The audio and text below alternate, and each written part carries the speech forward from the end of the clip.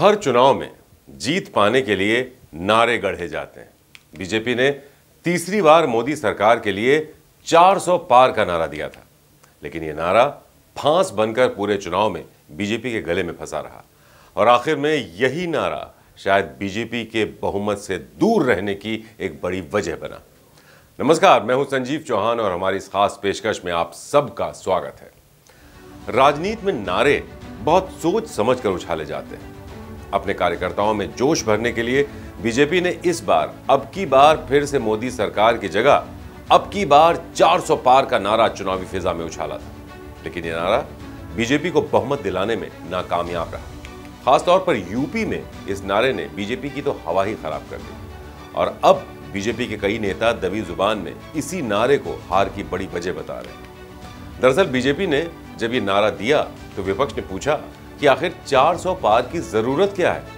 जब ये सवाल मीडिया ने बीजेपी नेताओं से पूछना शुरू किया तो जो जवाब मिले वो चौंकाने वाले थे। मसलन, अयोध्या से बीजेपी प्रत्याशी लल्लू सिंह ने लोकसभा चुनाव के दौरान कहा कि लोकसभा में दो सौ बहत्तर सांसदों के साथ सरकार बनाई जा सकती है। लेकिन संविधान में संशोधन करने या नया संविधान बनाने के लिए हमें दो तिहाई से ज़्यादा बहुमत की ज़रूरत है। इसके लिए कई कई नियम बदलने होंगे, संविधान में संशोधन करना होगा और बहुत सारे काम करने सरकार तो दो सौ बहत्तर में भी बन जाती है। लेकिन दो सौ बहत्तर की सरकार संविधान में संशोधन नहीं कर सकती। उसके लिए दो तिहाई बहुमत से अधिक सीट या नया संविधान बनाना। तो इसलिए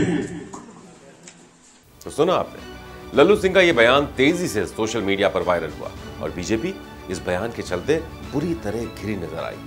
ऐसा बयान देने वाले लल्लू सिंह बीजेपी में अकेले नहीं थे। बीजेपी के छह बार के सांसद अनंत हेगड़े ने भी 400 पार के नारे पर जो बयान दिया, वो लल्लू सिंह के बयान जैसा ही था। हेगड़े ने एक पब्लिक मीटिंग के दौरान कहा कि संविधान में संशोधन करना होगा, क्योंकि कांग्रेस ने कुछ बेवजह के बदलाव करके इसके मौलिक स्वरूप को बदल दिया खासकर हिंदू समुदाय से जुड़े कानून बदले गए हैं। अगर ये सब कुछ बदलना है तो ये दो तिहाई बहुमत के बिना नहीं किया जा सकता। अगर एनडीए को 400 से ज़्यादा सीटें मिलेंगी तो ये बदलाव किया जा सकता है। तो इन दोनों बयानों ने बीजेपी के 10 साल के किए कराए पर पानी फेर दिया।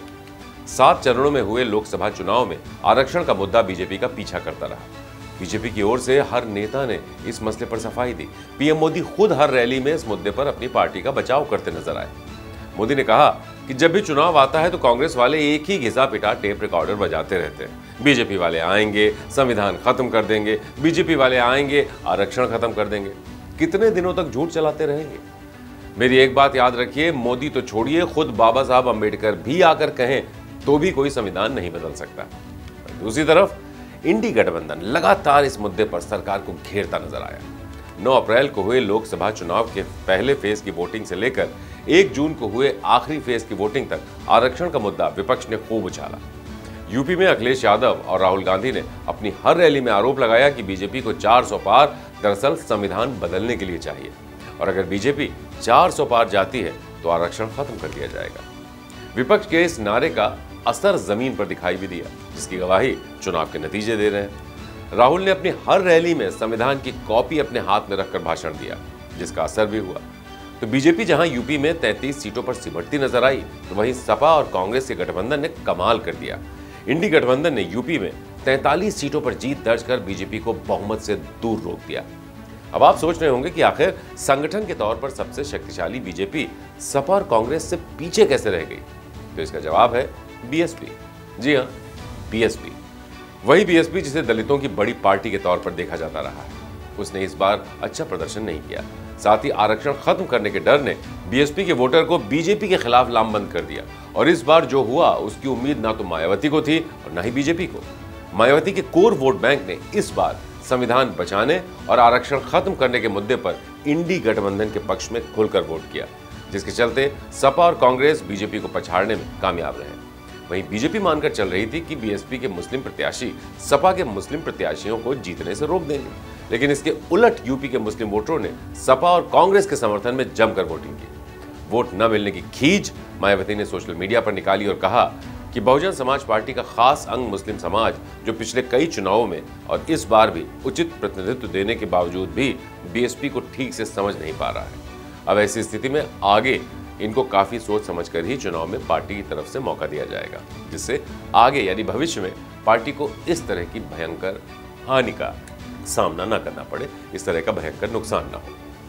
तो मायावती के रुख से साफ़ है कि इस बार उनका मुस्लिम कार्ड नहीं चला, जिसके चलते भी बीजेपी की सीटें घटी और बीजेपी की मुस्लिम बहुल सीटों पर बुरी तरह हार हुई। बीजेपी के कई प्रत्याशी कह रहे हैं कि 400 पार के नारे की वजह से उनका नुकसान हुआ है। सहारनपुर में बीजेपी प्रत्याशी राघव लखन पाल शर्मा ने अपनी हार के बाद कहा कि 400 पार के नारे की वजह से जनता के बीच ये संदेह गया कि बीजेपी संविधान बदल देगी, आरक्षण खत्म हो जाएगा। वहीं गाजीपुर से बीजेपी प्रत्याशी पारसनाथ राय ने अपनी हार के बाद कहा कि विपक्ष की ओर से यह कहा गया कि बीजेपी संविधान में फेरबदल कर देगी, साथ ही आरक्षण समाप्त कर देगी। तो ये दो अहम वजह थी जो उनकी हार के कारण बनी। शायद इन्हीं दोनों वजहों से उन्हें हार का सामना करना पड़ा। तो पारसनाथ राय ने कहा कि पीएम मोदी संविधान का सम्मान करते हैं, लेकिन विपक्ष इस विषय को लोगों के बीच अच्छी तरह से ले जाने में और उन्हें इस पर समझाने में कामयाब रहा। तो ये बात वो कह सकते हैं। बीजेपी प्रत्याशी अपनी आप बीती सुना रहे उन्होंने चुनाव के दौरान ज़मीन पर जो देखा, वो अब खुलकर बता रहे हैं। इसमें कोई दो राय नहीं कि बीजेपी के कुछ नेताओं के बयानों का खामियाजा पूरी पार्टी को भुगतना पड़ा।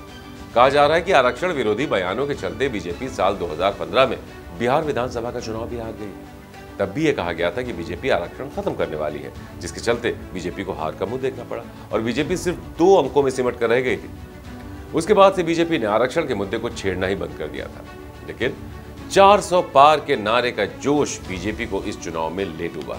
उसके नेता जोश में होश खोते नज़र आए और पार्टी की नैया अधर में लटक गई। और अब उसे सरकार बनाने के लिए अपने सहयोगियों के सहारे की दरकार। 2014 और 2019 में बीजेपी को अकेले पूर्ण बहुमत मिला, लेकिन इस बार उसकी गाड़ी 240 पर आकर रुक गई और उसे सरकार बनाने और चलाने दोनों के लिए कई तरह के त्याग करने होंगे, जैसे कि हर गठबंधन की सरकार को करने भी पड़ते हैं। लेकिन पीएम मोदी के काम करने का तरीका कुछ अलग है और पहली बार वो बिना बहुमत वाली सरकार चलाएँगे। अब ये सरकार कामयाब होती है या नहीं, ये भी वक्त के साथ सामने आ ही जाएगा। बहरहाल आसमान से गिरे खजूर में अटके। आरक्षण का भूत पूरे चुनाव में बीजेपी के पीछे पड़ा रहा, जिससे पूरी पार्टी बचती बचती नज़र आई।